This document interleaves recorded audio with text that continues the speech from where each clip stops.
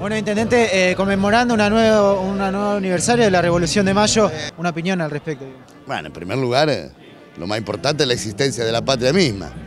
Y segundo, un hecho que no es menor que la cantidad de, de paranaenses que se volcaron espontáneamente a ver el desfile. Esto significa que el sentimiento de patria, el amor a nuestras mejores tradiciones está en Paraná porque fue impresionante la cantidad de gente que a lo largo y a lo ancho de la avenida Alameda Federación vino a presenciar el desfile. Mira, el ejército, como todas las Fuerzas Armadas, las tradiciones las mantenemos este, a diario.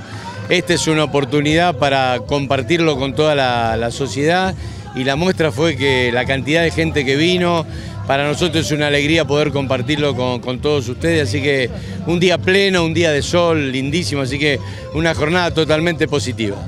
Y el ejército nació cuatro días después de la Revolución de Mayo. El 29 de mayo de 1810 nació el ejército, así que son nuestras raíces, nuestra historia, son nuestros antepasados, nuestras tradiciones que hoy más que nunca hay que mantener. Porque es lo que nos hace eternos, porque nosotros nos vamos a ir de la vida, pero nuestros hijos, nuestros nietos van a seguir construyendo la mejor Argentina. Y también en el desfile eh, participaron chicos y también instituciones municipales. Por supuesto, porque todos hacemos la patria, no solamente los hombres de armas, sino también los niños que son educando, los trabajadores, los excombatientes de Malvinas, todos hacemos la patria.